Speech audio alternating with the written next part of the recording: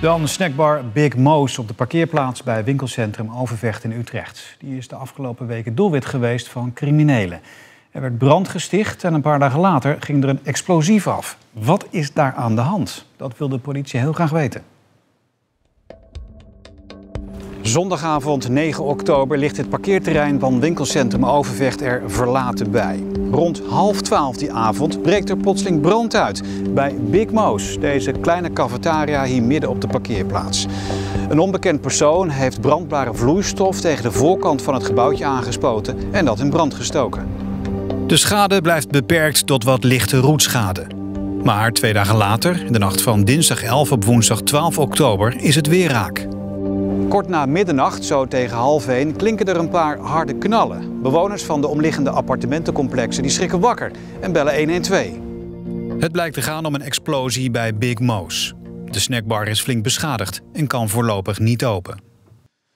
Ja, flinke schade. Uh, Suzanne, eerst brandstichting, twee dagen later dus die explosie. Is er nou een verband tussen die twee zaken, denk je? Nou, in dit stadium sluiten we nog niets uit. Uiteraard onderzoeken we dat nog. Uh, we kunnen de informatie van de kijkers daarom ook heel goed gebruiken nu. Precies, jullie hebben al wat getuigen gesproken, hè? bewoners van die appartementencomplexen die daar omheen staan onder parkeerplaats. En dat heeft al wat opgeleverd. Ja, wat we inmiddels weten van die brandstichting op 9 oktober is dat één persoon de brand heeft aangestoken. En dat hij daarna hard is weggerend. Uh, na de explosie twee dagen later verklaarde een getuige dat hij kort na de knallen twee mannen op een scooter heeft zien wegrijden. Oké.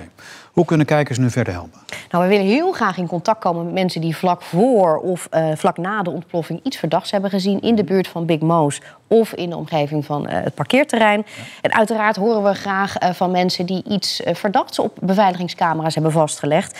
misschien kan het ons onderzoek verder helpen. Ook hopen we dat mensen ons bellen die misschien iets weten over de toedracht van deze explosie. Waarom moest deze ondernemer het nou ontgelden? Precies.